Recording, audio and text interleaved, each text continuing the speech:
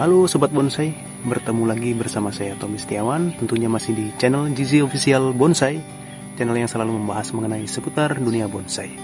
Ya, di hari yang cerah ini saya akan berbagi lagi kepada sobat-sobat yang masih uh, setia uh, menyaksikan tayangan video-video dari channel Gizi Official Bonsai. Di depan saya sudah ada bahan yang sebelumnya sudah saya cangkok angin. Ini adalah bahan iprik pucuk merah ya. Ini sudah saya cangkok angin kurang lebih satu bulan yang lalu. Ya ini hasilnya. Ini sudah mulai berakar. Ya, lihat ya sobat bonsai akar-akarnya sudah mulai tumbuh. Ya untuk selanjutnya saya akan uh, panen dari hasil cangkok angin ini dan akan saya tanam uh, ke dalam sebuah media yang baru Baik, langsung saja kita eksekusi dari bahan ibrik pucuk merahnya.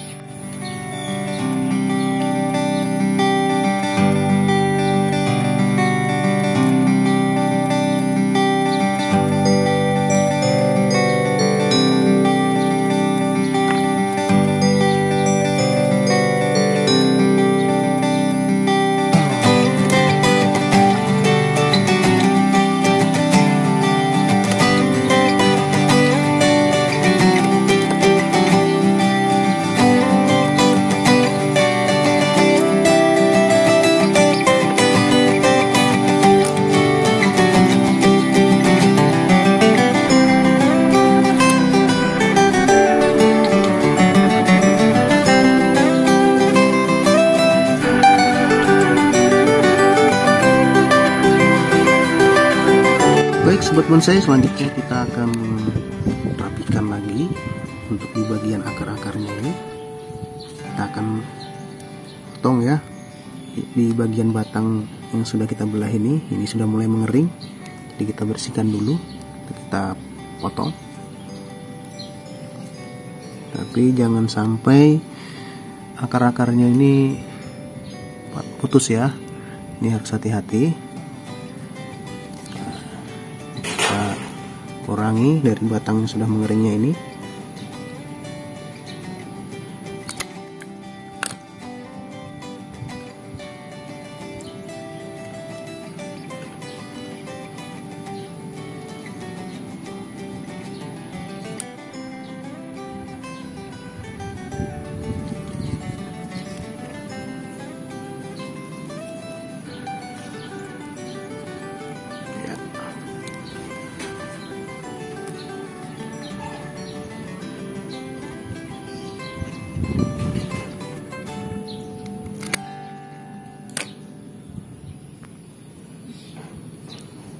Oke, sobat bonsai.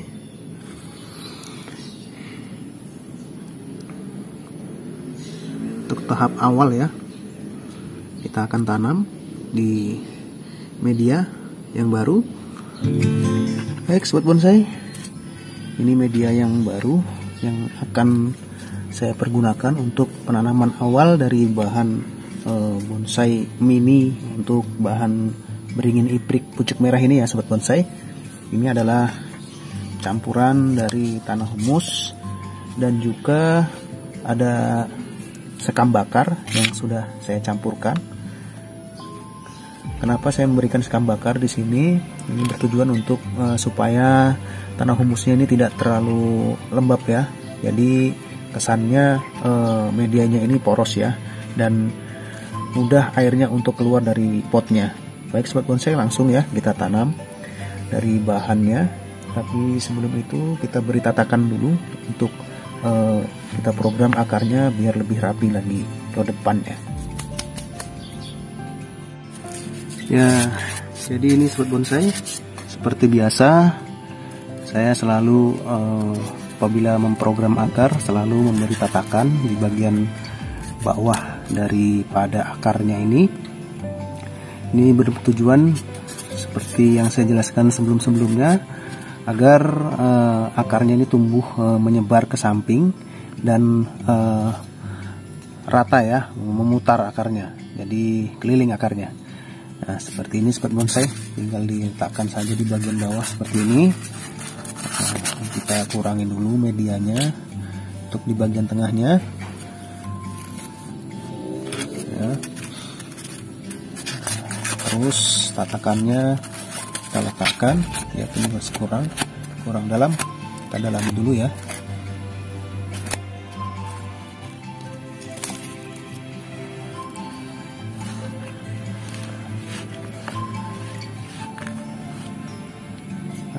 Kemudian tatakan kita meletakkan di dalam. Nah, seperti ini sobat bonsai. Kita tutup sedikit dengan media kita lapis ya agar akarnya tidak terlalu stres ya. Jadi tidak langsung menjilat ke bagian uh, tatakannya nah, seperti ini.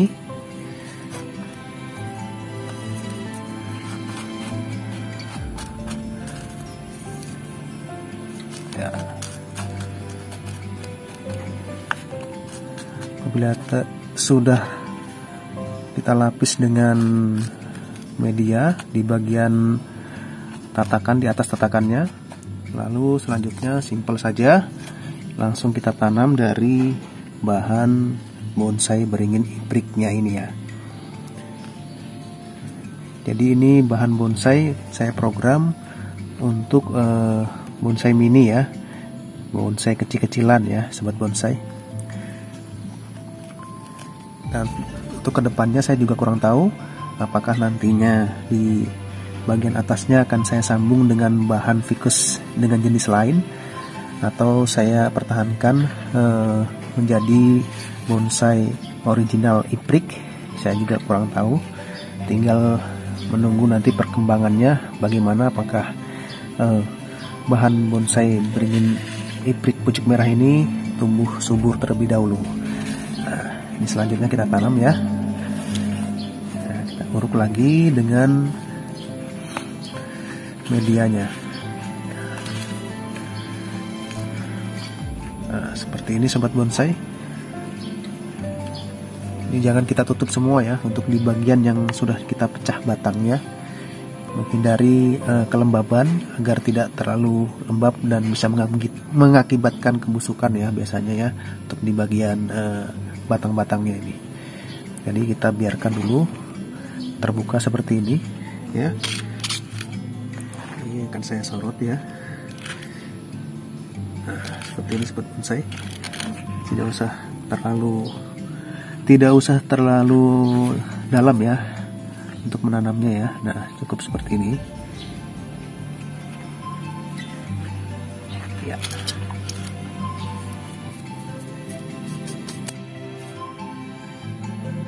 Kemudian untuk peletakan dari bahan yang satu ini pada awal penanaman biasanya saya meletakkan di tempat di tempat yang teduh terlebih dahulu. Dan e, untuk cahaya matahari diusahakan tidak terlalu full ya. Cukup secukupnya saja cahaya matahari, matahari pagi yang bisa menimpa.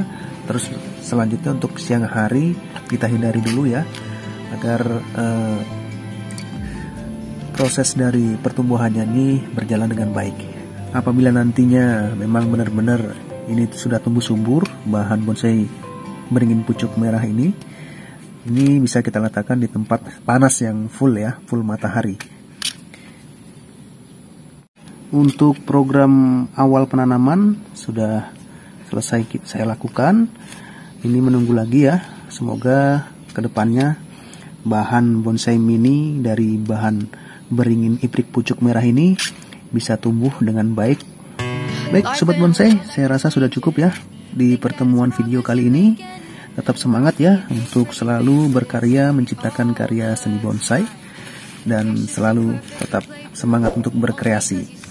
Saya Tommy Setiawan, pamit undur diri. Wassalamualaikum warahmatullahi wabarakatuh. Salam satu hobi, salam bonsai. Fantasy reality, whoa. keep doing